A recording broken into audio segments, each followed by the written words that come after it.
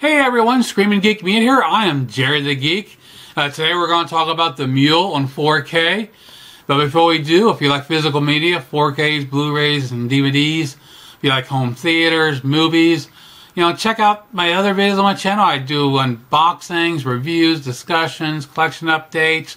You know, check those out, see what you like. Uh, you know, like, subscribe, turn your bell notifications on. Also, comment on any of my videos. Let me know what you think.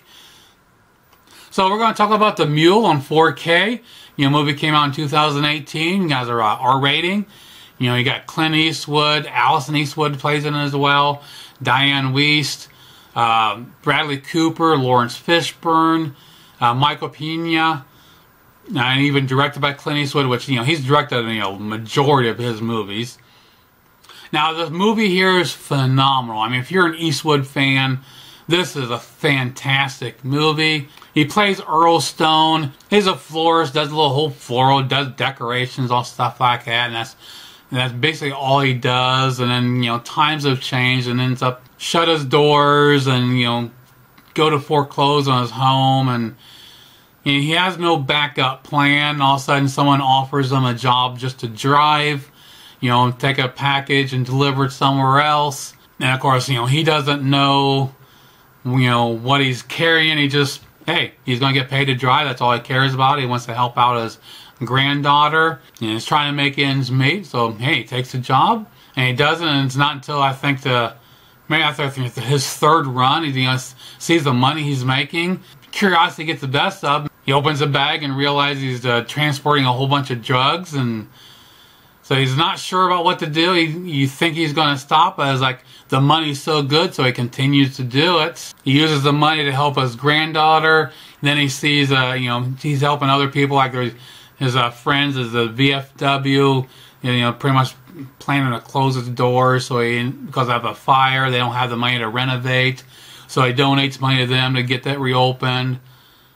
So it's a great story. It's a great movie. I really enjoyed this. And with Eastwood at his age, I mean, he's 93 now. And his, you know, watching the movie, I mean, you really see how frail he looks. You know, the kind of the baggy, you know, the skin hanging off the bones. And he's just like, man, it, I look, I looked at this movie from a different perspective because I see so much of my dad in him. And it's kind of how my dad was before he passed away. So it's just like, you know, I'm looking at the movie differently. And, you know, it's really kind of weird. Now, this 4K came from Warner Brothers in 2019. You know, the movie was filmed in digital, has a 2K digital intermedia, so it's upscaled to 4K, HDR10. Very solid presentation here. Um, the nice, it has a nice overall tone to it the movie, you know, it doesn't have the filtered uh, cinema look that you get with most movies. It just has that nice natural tone to it that you don't expect. You know, the indoor scenes does, you know, has that kind of cinema look. They, you know, the neon lights at times that during the night shots really pop. Really nice details. The wrinkles on uh, Eastwood really pop off the screen. There's a lot of depth to it. Colors of his flowers really pop Another scene with a FBI agent. His uh, wrinkled shirt is like it looks like he just grabbed it out of the laundry baskets and you know ironed out. It just looked like it's been rumpled up forever. So a very nice, solid presentation here. Now comparing it with the Blu-ray, very subtle differences. You know the color timing just a little bit. The 4K gives you a little bit more depth, but not a lot. So check out some screenshots comparing the Blu-ray and the 4K. Then we'll come back and talk about the audio, packaging, and the bonus features. We'll see you in a couple minutes.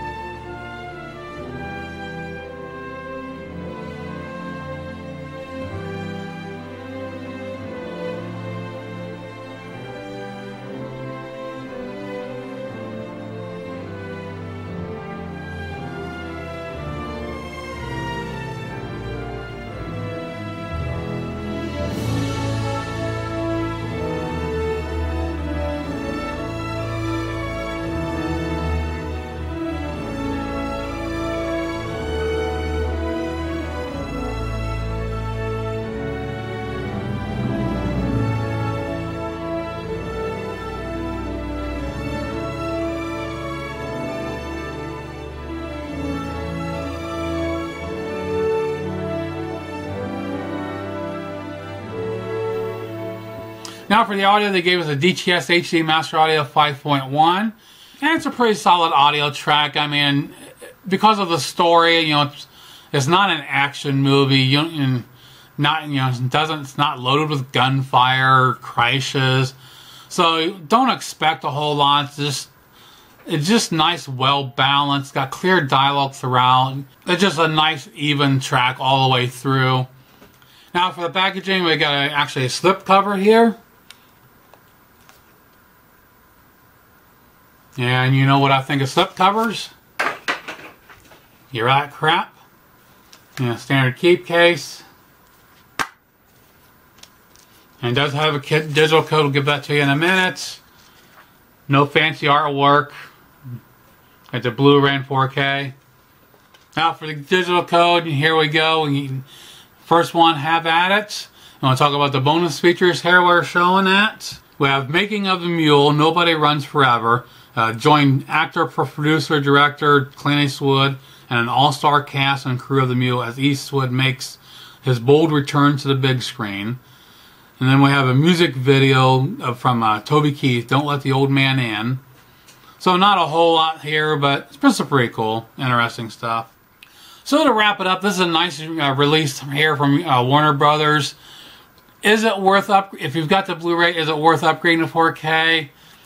I'd say it's questionable. If you can get this on a really good deal, and, you know, it's going to be up to you. But I think the Blu-ray is going to be fine, and you know, this, you know, the 4K is not going to blow your mind. It is selling for $15, so if you don't have it, I would go ahead and buy the 4K and just judge for yourself if you want to upgrade or not. If you have the Blu-ray, you know, look for some sales. Especially being a Warner Brothers title, you know, keep an eye on GRUV because you know since they uh, share the same distribution center with uh, Warner Brothers, so there, there's a lot of Warner Brothers titles on their site. And plus with Black Friday around the corner, so I think you're going to find this at a pretty good price for Christmas. But either way, I would recommend getting this. I mean, I love what Eastwood has done. Even at his age, I mean, it's crazy what he's still doing. I mean, since this one, he's put out Cry Macho, and he's got one more he's putting out. He's uh, in production now. I think it's called a, I forget what the name of it is, but it's rumored to be his last film again, just I mean, you watch even the I haven't watched Cry Macho yet, but just watching this one, it says, man, it's hard to believe he's still kicking. I mean, what he's done over his career, all the smoking he's done, is like he's still alive at 93. So yeah, I definitely recommend picking this up. Comment below, let me know what you think. You know, check out my other videos, like, subscribe, turn your bell notifications on, and we'll see you soon. Geek out.